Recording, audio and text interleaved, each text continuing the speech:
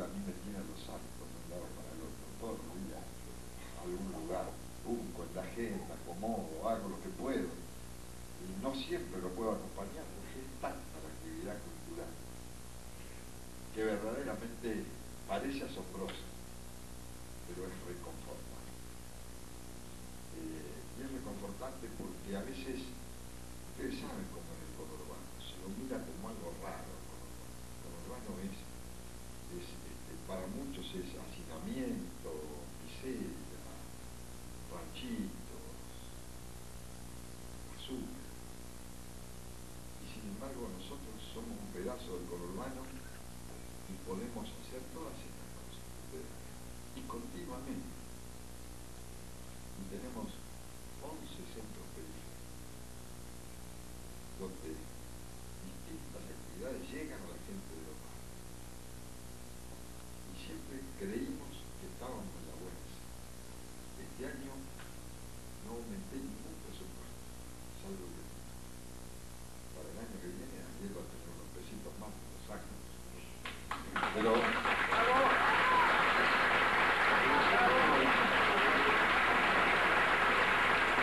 Tenemos para tapar cosas, sí, pero si no tuviéramos dejarían los ojos. Se romperán fibras. Pero lo peor que podemos hacer es no construir a ese ciudadano que a través de la cultura va a tener muchas más posibilidades en su vida. Por eso, muy feliz de inaugurar esta muestra. La lluvia no pudo con nosotros, mejor dicho con ustedes.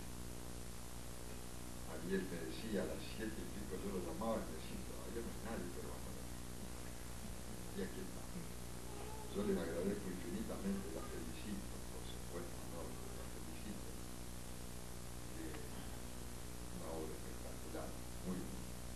Y seguramente hará otros otros años por nuevas obras, porque quien, quien la, la observó dice que es muy inquieto, que vive generando cosas. Y seguramente, no sé, si el año que viene o el otro, ya tendremos muchas más. Si Dios quiere. Muchas gracias. Muchísimas gracias. Dios. Gracias a todos ustedes. Queda habilitado esta muestra de nuevo Gracias a todos.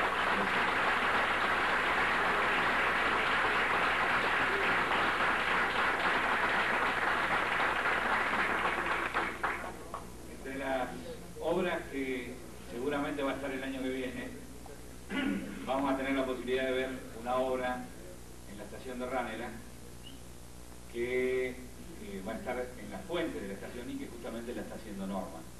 Es por eso a los amigos del Rotary Club de Ranela que quieren entregarle a Norma un presente.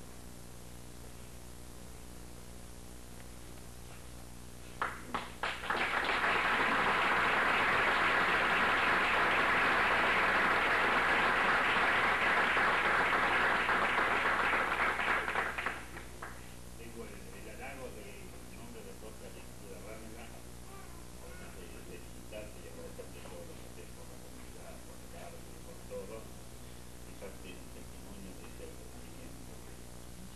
Y como ustedes saben, Norma, que es la autora de la, de la obra La Semana, que se va a emplazar con Luis Ariel en el Parque de la Estación de Ránela, que es digno de ir a conocer, donde en el galpón de Ránela ella está trabajando toda la tarde y que te invitamos a que quiera ver esta magnífica obra porque verdaderamente va a ser algo maravilloso para nuestro distrito. Y además aprovechar la oportunidad, que lo tengo acá el señor intendente, el secretario, para agradecerle el aporte que han hecho colocando, construyendo y colocando la reja perimetral. Así que ustedes también muchísimas gracias.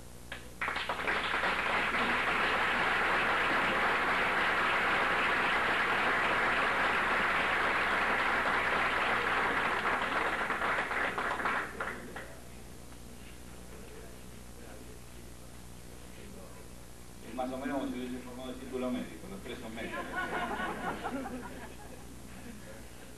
Eh, le- les quiero decir que, bueno, están todos los este, amigos de, de Rotary, que Rotary fue la entidad que, promovió la realización de este trabajo en la cual está inmerso los amigos de la gestión de Ranela y Norma, que está haciendo la obra, los que tuvimos oportunidad de verla, este, sabemos cómo avanza, los tiempos de los artistas no son nuestros tiempos, somos muy inquietos ¿eh?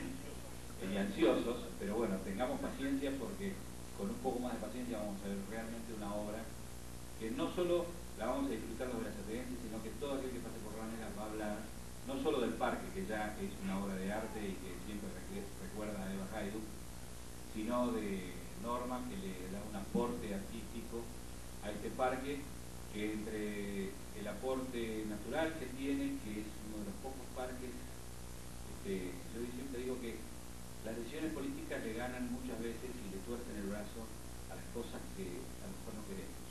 Y lo digo siempre, eh, en, en, época de privatización salvaje, Berazategui tuvo su firme decisión de no privatizar los servicios, de recoger la basura, de tener el agua municipal, el alumbrado municipal.